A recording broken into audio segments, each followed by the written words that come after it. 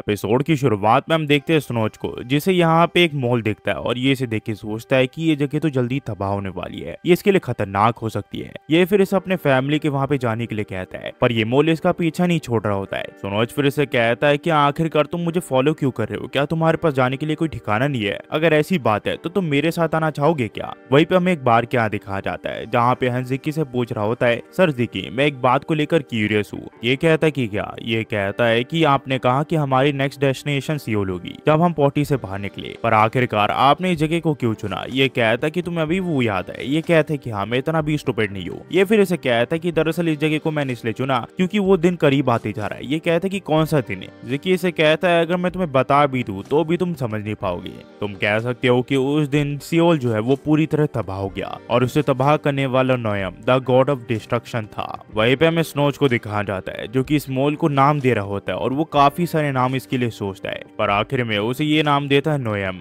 वहीं पे हमें स्नोज के मास्टर को दिखाया जाता है, जहाँ पे वो किसी से पैसे ले रहा होता है। ये से कहता है कि तुम्हारा शुक्रिया, मेरे एक छोटे से काम के लिए तुमने मुझे इतना सारा पैसा दिया। मुझे बस उस लड़के को मॉल से मिलाना था बस। अब फाइनली उस लड़के के मास्टर के प्ले को मैं बंद कर सकता हूँ। ये कहता है की तुम्हारा भी शुक्रिया। अब मैं अपने प्लान को डायरेक्टली एग्जीक्यूट कर सकता हूँ। हमें फिर कुछ दिन के बाद शहर में दिखाया जाता है, जहाँ पे हम देखते हैं यहाँ पे सभी लोग इसे कुछ ना कुछ बेच रहे होते हैं, और इसे हर चीज़ काफ़ी अच्छी लग रही होती है। तो यहाँ पे ये सारी चीज़ें खरीद लेता है। पर जिक्की इसे ऐसी चीज़ें करते हुए देखिए, सोच रहा होता है कि आखिरकार ये अपने आप को अब तक ऐसी चीज़ें करने से कैसे रोक पा रहा था। तभी इसे एक बूढ़ा आदमी टकरा जाता है, जो कि कहता है कि मुझे लगा ही था कि स्नोच यहाँ पे किसी दिन स्कैम हो ही जाएगा। दूसरा आदमी कहता है कि तुम ये कहना चाहते हो कि जो उसका एडवेंचर मास्टर था, उसने क्विट कर दिया है। ये कहता है कि हाँ स्नोच को इतना बड़ा झटका लगा इस चीज़ से, वो अब तक अपने घर के बाहर भी नहीं आया है। ये सोचता है स्नोच तो वही लड़का है ना, जिससे मैं जंगल में मिला था। मुझे लगा ही था, वो आदमी फ्रॉड जैसा दिखता था। तभी यहाँ पे हंस आ जाता है, जो की इसे कहता है कि सर, देखिए, आपको भी ट्राई करना चाहिए। पर देखिए से कहता है, अगर चेहरे से देखा जाए तो ये इंसान ज़्यादा फ्रॉड लगता है मुझे।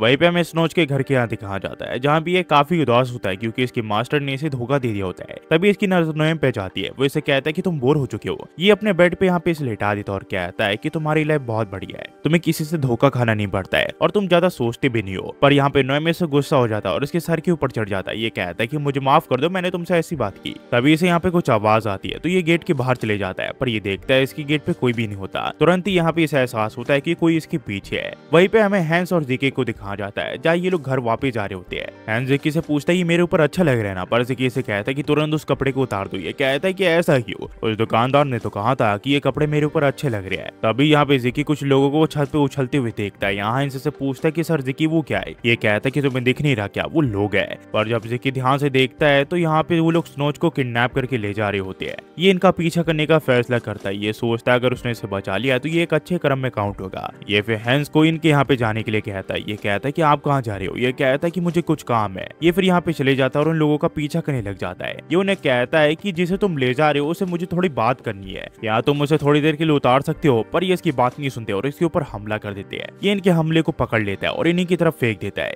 जिससे यहाँ पे इनका एक आदमी घायल हो जाता है और ये लोग नीचे गिर जाते हैं। जेके फिर इनसे पूछता है कि आखिरकार तुम लोग कौन हो? पर वो लोग इसकी बात नहीं सुनते और इसके ऊपर हमला कर देते हैं। जेके इनसे लड़ते हुए कहता है कि आखिरकार तुम जैसे कामीन है सीधे सीधे सवाल का जवाब क्यों नहीं देते? जब कोई तुमसे कोई सवाल पूछता है तो। पर ये लोग इसकी बात नहीं सुनते और उसके ऊपर दोबारा हमला कर देते हैं। जेके किसी तरह इन दोनों को हरा देता है। पर इनका जो लीडर होता है, वो स्नोच को लेकर यहाँ से निकल जाता है। ये कहता है कि चीज़ें और ज़्यादा डिफ़िकल्ट होने वाली है। जेके फिर इसका पीछा करने लग जाता है और ये जंगल की तरफ़ भाग जाता है। ये सोचता है की आखिरकार ये कहा जा रहा है। तभी वो आदमी एक माइन के अंदर घुस जाता है और इससे पहले ये माइन के अंदर घुस पाता है। यहाँ पे कुछ लोग इसका रास्ता ब्लॉक कर देते हैं। ये कहता है की आखिरकार तुम लोग हो कौन? पर ये लोग इसकी बात नहीं सुनते और बिना वजह के इसके ऊपर हमला कर देते हैं और इसे ना चाह कर भी इनसे लड़ना पड़ता है। जेकी फिर सोचता है कि इन्हें देख के थोड़ा अजीब तो लग रहा है, ये असैसिन्स तो है, पर ये काफ़ी ज़्यादा स्किल्ड है। पर आखिरकार ये लोग कहाँ से आए हैं? मैं सिटी में सिर्फ़ एक ही वजह से आया हूँ, क्योंकि ये सिटी तबाह होने वाली है। पर पता नहीं ये लोग अचानक से यहाँ पे कैसे आ गए कहीं ये नोएम से तो जुड़ा हुआ नहीं है। ये फिर एक आदमी से पूछता है कि कहीं तुम लोग गॉड ऑफ़ डिस्ट्रक्शन नोएम से तो जुड़े हुए नहीं हो?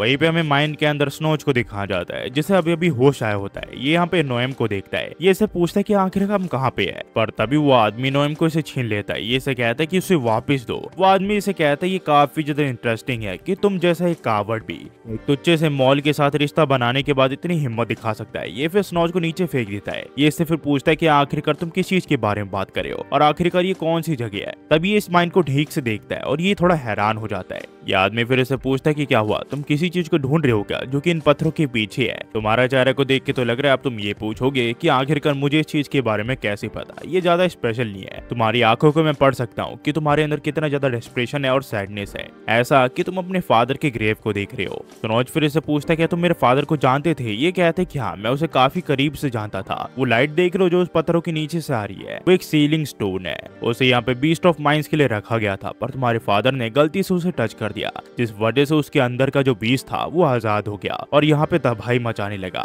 और ये माइन अचानक से कोलैप्स हो गया, जिस वजह से तुम्हारे फादर भी यहाँ पे दफन हो गए। क्या तुम उदास हो क्या तुम्हें गुस्सा आ रहा है। अगर ऐसी बात है तो फिर ठीक है। तुम्हें पता है, जिसने तुम्हारे पिता को छीना और जिस वजह से तुम माइनर का काम को इतना हेट करते हो, और जो बीस माइंड मॉन्स्टर है, वो और कोई नहीं। वो तुम्हारा ये दोस्त मोल है। ये मॉन्स्टर है जिसे सबसे ज़्यादा तुम हेट करते हो। आप जल्दी करो, इसके ऊपर अपनी जजमेंट पास करो। ये कहता है कि तुम क्या बात कर रहे हो? नोएम ऐसा नहीं कर सकता। ये आदमी इसे बताता है कि इसी वजह से यहाँ पे अर्थ क्यों आया था, जिस वजह से तुम्हारे पिता मारे गए। ये वही उस माइंड का बीस्ट है, जिसने तुम्हारे पिता को मारा है, और मुझे अब तक विश्वास नहीं हो रहा ये उसी के परिवार के साथ घूम रहा है जिसे इसने मारा है। ये मनी मन में तुम्हारे ऊपर हंस रहा होगा।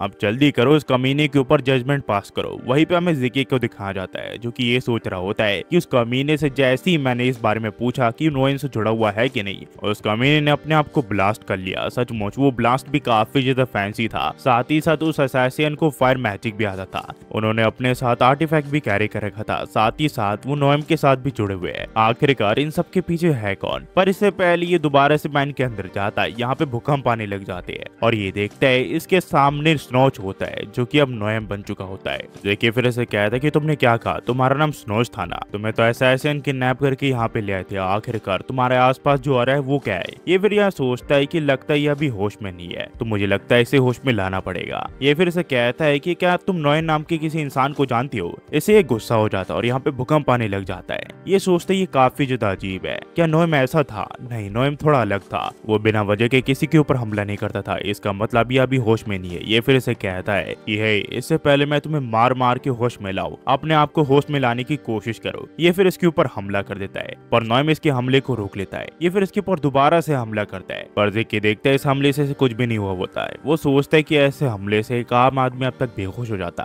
पर लगता है इसका केस कुछ अलग है। तभी यहाँ पे नोएम अपनी ताकत को अवेकन कर लेता है। देखिए, समझ आता है कि इतने सारे री के साथ यहाँ पे ट्राइंट ऑफ़ अर्थ को अवेकन कर लेगा। ये धीरे धीरे ताकतवर बनता जा रहा है। इससे पहले बात बिगड़ जाए, मुझे इसे किसी भी हालत में रोकना पड़ेगा। पर वो आदमी इसके हमले को रोक लेता और कहता है की तुम्हें एक आम आदमी की लाइफ की वैल्यू करनी चाहिए। तुम अगर इसे मारोगे तो तुम हेल जाओगी। ये फिर इसे पूछता है की आखिरकार तुम कौन हो? और आखिरकार तुमने सनोज को क्या बना दिया है? ये कहते ये बढ़िया नहीं है क्या? देखिए, इसे कहते हैं कि लगता है कि तुमने उसे किसी मिथ्रिकल क्रिएचर के साथ मर्ज कर दिया है। कहे, तुमने उसे ट्राइंट ऑफ़ अर्थ नोएम के साथ तो मर्ज नहीं किया है। इसकी ये बात सुन के आदमी सोचने लग जाता है कि आखिरकार इसे इस बारे में कैसे पता है? इस बच्चे ने उस क्रिएचर को नोएम नाम दिया। इस बारे में तो किसी पता नहीं होना चाहिए था। ये आदमी फिर से पूछता है कि आखिरकार ये इन्फॉर्मेशन तुम्हें कहाँ से मिली? ये कहता है कि मेरी ज़िंदगी इसके ऊपर डिपेंडेंट है तो मैं तुम्हें ये नहीं बता सकता। तो ये कहता अगर ऐसी बात है तो फिर ठीक है, मुझे तुम्हें फोर्स करना ही पड़ेगा, ताकि मैं इस इन्फॉर्मेशन के बारे में पता लगा सकूँ। ये फिर अपने शरीर को ताकतवर बना लेता है और मस्कुलर हो जाता है। पर इसे देख के स्नोच इसके ऊपर हमला कर देता है। ये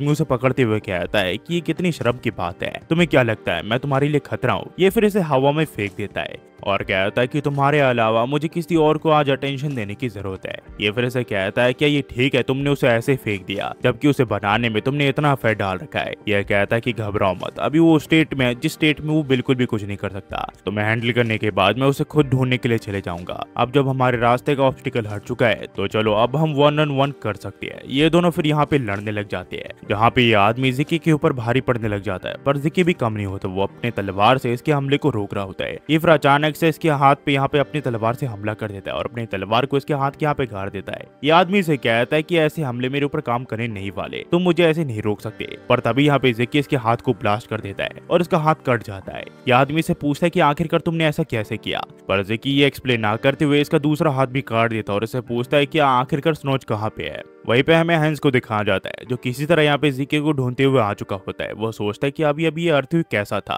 तभी ये स्नोच को देखता है, जो कि ज़मीन पे लेटा हुआ होता है। ये सोचता है ये तो वही लड़का है जिससे हम पहले मिले थे। ये इसे उठाने की कोशिश करता है और वो उठ भी जाता है। और ये तभी इसके ऊपर हमला कर देता है। हैंस पूछता है कि आखिरकार तुम मेरे ऊपर हमला क्यों कर रहे हो? ये फिर सोचता है की आखिरकार इसे किस तरह की ट्रेनिंग मिले की ये कर सकता है। पर एक चीज़ कन्फर्म है, अगर वो चीज़ मुझे हिट करती है तो मैं तुरंत ही मारा जाऊँगा। तभी स्नोच उस बड़े से चट्टान को इसके ऊपर फेंक देता है। ये सोचता है कि इसे मैं डॉज नहीं कर सकता। अगर मैं इसे डॉज नहीं कर सकता तो मुझे इसे कट करना पड़ेगा। और ये ऐसे ही करता है। ये किसी तरह उसे काटने में कामयाब हो जाता है। ये कहता है की काफ़ी आसान था, मैं मरा नहीं। मैं इसे आसानी से हैंडल कर सकता हूँ। पर तभी ये देखता है की एक रेत का बवंडर इसी की तरफ़ बढ़ने लग जाता है। ये समझ आता है इसे डॉज नहीं कर सकता। आज इसका मरना पक्का है। पर तभी यहाँ पे पानी की लहर आ जाती है, जो की यहाँ पे जिक्की लाया होता है। वो यहाँ पे इसके ऊपर हमला कर देता है। सुनोच यहाँ पे उसे रोकने की कोशिश करता है, पर वो उसके हमले को रोक नहीं पाता। जेकी सोचता है इसे रोकने का यही रास्ता है। वो फिर से कहता है कि मैं तुमसे भीख माँगता हूँ कि अपने आप को होश में लाने की कोशिश करो और ये अपने हाथ को इसके मुँह पे लगा देता है। हमें फिर स्नोच के अंतर मन में दिखा जाता है, जहाँ स्नोच सोच रहा होता है कि आखिरकार मैं कहाँ पे हूँ? तभी ये नोएम को देखता है, जो कि काफ़ी गुस्से में होता है। ये इसे कहता है कि मुझे पता है कि तुम काफ़ी ज़्यादा गुस्से में हो। मुझे नहीं पता कि मेरे माइंड को किसने कंट्रोल में किया और उसके बाद क्या हुआ। ये बिल्कुल सच है की मेरे फादर जो तुमने अर्थ को कॉज की थी, उसी वजह से मारे गए। पर मुझे जल्दी एहसास हो गया कि ये तुमने इंटेंशनली नहीं किया था। तुमने मेरे फादर को इंटेंशनली नहीं मारा था। इसमें तुम्हारी गलती नहीं है। मेरे फादर बस गलत जगह पे, गलत समय पे थे। इसी वजह से वो मारे गए। मुझे माफ़ कर दो। मैंने तुम्हें गलत समझा। और मुझे पता है कि तुम हर्ट हुए हो। पर मुझे अच्छा लगेगा कि हम पहले जैसे थे, वैसे बन जाए। मुझे पता है ये पॉसिबल नहीं है। तो नोयम क्या हम दोनों अपना फ्यूचर एक दूसरे के साथ तय कर सकते हैं? ये फिर यहाँ पे इस चीज़ के लिए मान जाता है। हमें फिर कुछ समय बाद दिखाया जाता है। जहाँ पे हम देखते हैं, यहाँ पे काफ़ी सारे वॉरियर्स आ चुके होते हैं जगह की तलाशी के लिए। वहीं पे हमें दिखाया जाता है स्नोच के घर के यहाँ पे, जहाँ पे की हंस को कह रहा होता है कि जैसा मैंने तुम्हें कहा, वैसे तुमने कर दिया ना। ये कहता है कि हाँ मैंने उन्हें कहा कि जब मैं वहाँ पे पहुँचा तो वहाँ पे कुछ भी नहीं था। मुझे वहाँ पे जोरदार आवाज़ सुनाई दी थी, इसी वजह से मैं वहाँ पे आया था। पर क्या आपको सचमुच लगता है की उन्हें इस बारे में पता नहीं चलेगा की हम इस इंसिडेंट पे इन्वॉल्व है? ये कहता है की चिंता मत करो। मैंने उन लोगों की बॉडीज को ठिकाने लगा दिया है जिन्होंने ये चीज़ की थी तो किसी को भी पता नहीं चलेगा। पर मोर इम्पोर्टेंटली वो कभी ये इमेजिन ही नहीं कर सकते की जैसा माइनर इस चीज़ में इन्वॉल्व हो सकता है। अब जब तुम दोनों ने कॉन्ट्रैक्ट फॉर्म कर लिया है तो मेरे हिसाब से तुम दोबारा से सिटी को तबाह करने नहीं निकलोगे। और मेरे हिसाब से तुम्हारा माना नोएम के लिए एकदम परफेक्ट है। तो अब तुम क्या करने वाले हो? क्या तुम दोनों एक दूसरे के साथ रहने वाले हो? ये कहता है की हाँ मैं ऐसा सोच तो रहा हूँ, पर यह भी सच है की नोएम ने मेरे फादर को मारा है। मैं इतनी जल्दी इसे भुला नहीं सकता। तो जेके कहता है कि तुम ये कहना चाहते हो की तुम नोएम को जब तक एक्सेप्ट नहीं करोगे, जब तक तुम्हें रिटर्न में कुछ नहीं मिल जाता। तो तुम किसी चीज़ के बारे में सोच क्यों नहीं लिखते? तो ये कहता है कि रिटर्न ये कहता है कि हाँ तुम एक एक्सप्लोरर बनना चाहते थे ना। इस वजह से तुमने एक फ्रॉड से भी लेसन लिया। तो तुम क्या सोचती हो? हमारे साथ आके कुछ अच्छे कर्म करना चाहोगे क्या? और यहाँ से कहानी यूट्यूब भी कंटिन्यू हो जाती है। अगर गाइस आपको ये वीडियो पसंद आई तो प्लीज़ लाइक सब्सक्राइब और शेयर करना मत भूला और हाँ गाइस इस वीडियो में मैंने टोटल 16 से लेकर 20 चैप्टर तक एक्सप्लेन किया है। इसका मतलब इसके जो अगले चैप्टर आने वाले हैं, वो एक एक या दो दो करके आने वाले हैं। और ये काफ़ी जल्दी में मानवर रिलीज़ हुई है तो मैंने कुछ दिन लेके इन्हें पूरी तरह एक्सप्लेन किया है। आपको ये वीडियो कैसे लग रहे कैसे नहीं प्लीज़ कमेंट बताना मत भूलना। और हाँ इसकी जो अगला चैप्टर है, वो अगले हफ़्ते आएगा। तो उसके लिए वेट करिएगा। आखिर में जाते